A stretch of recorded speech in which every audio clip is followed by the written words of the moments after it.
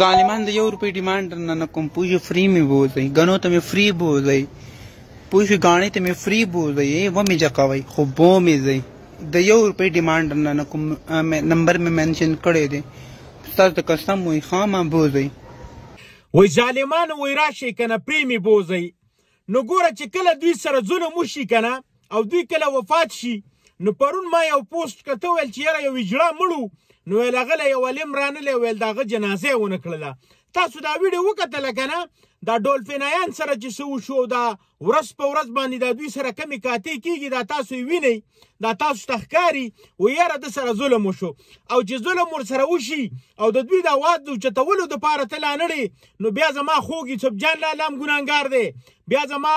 خواږه خواږه هغه سوشل ورکران چې کم د دې خلکو د پاره आवाज اوچتای نو هغه ټول سوشل ورکرانو پسې خبرې کیږي و یاره یو سوشل ورکر منګ لرانلې زمنګ د आवाज اوچت نه کو تاسو د دا خبرې واورې دي دی و چې ما خپل نمبر منشن کړی دی او راشي کنه الته می بوزي او دلته می بوزي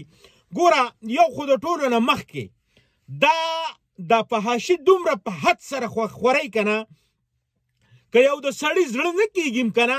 ابو جراش پریکاته ده او د ماته چغي وي چې ما بوزي نو څنګه به تا ته خلک رنګ نه کوي یار چې بیا ته دا قسمه مخلوق راشي او دا ته چغي وي چې رور راشي کنه ولته می بوزي او دلته می بوزي نو بیا هر سړی وای یاره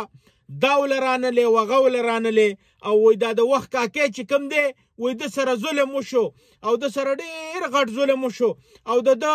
ملزمان را پیدا کول غواړي قسم دې که دغه ملزمانو تم ګنای قسم دې که دغه خلکو تم ګنای قسم دې که اچا تم ګنای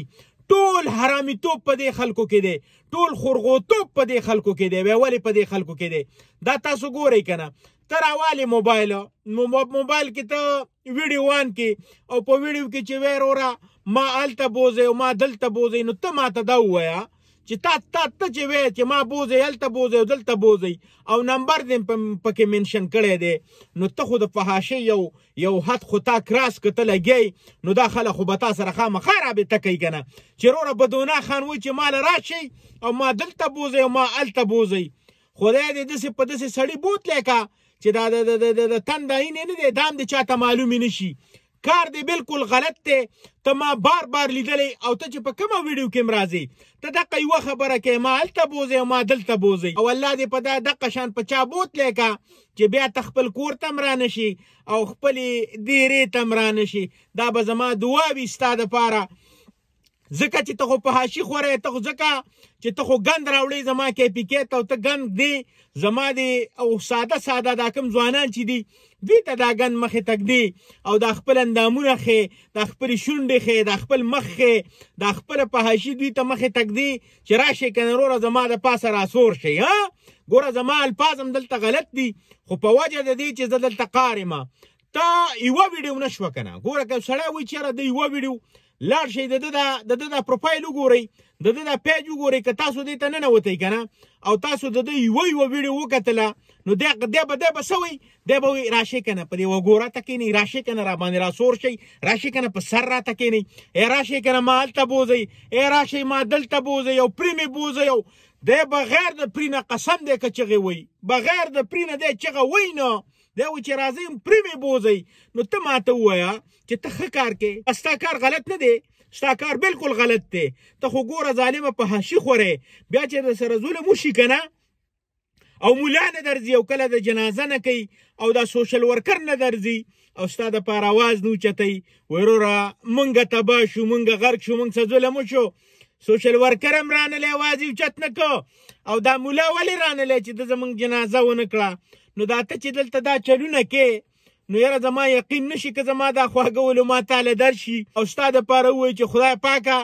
دا شی مړ دی او دا وبخې نه لکه نه نه نه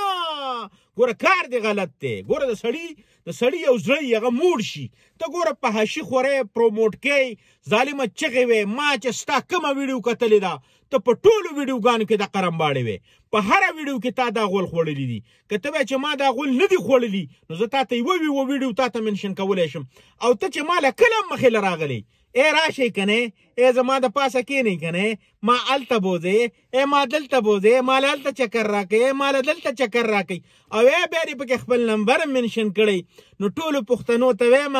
چې د دې شي علاج کول پکار دی او د دې علاج وکړي ځکه چې دا کار بالکل غلط دی نو الله دې وکړي چې خدای دې سمې لارې ته راواړوه که سمه لار نه وه نو الله دې تبه برباد کا ځکه چې پهاشي خوره او خدای دې سره د پهاشي تبو برباد کو جنازه د الله پاک ومکه او ټول پښتنو ته وایم چې د دا پیج چې کوم دی دا ریپورت کوي او د دا پیج میرات کوي چې ول بیخي ول ډیلیټ کوي چې بالکل د دا د د دا شکل په ویډیو باندې را نشي او کیږي بم دغه شان د سره خپل رور ماجد علي صافي لور کې اجازه په لوی الله مسپارم الله پامان